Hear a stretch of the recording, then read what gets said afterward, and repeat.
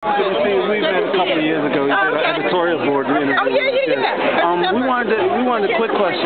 Your most memorable moment on Yeah, social. what's up with the new show? Oh, I think one of my most memorable moments was uh, when the Jackson Five were.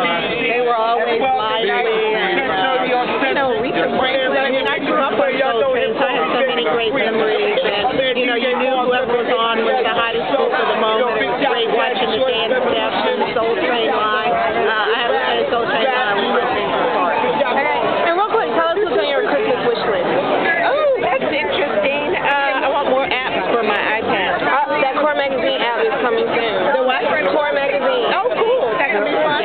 Now, speaking of apps, uh, you know, since you guys are here in Atlanta a lot, will you get the new AJC app coming out? Uh, uh, of course. I'm looking for that AJC app.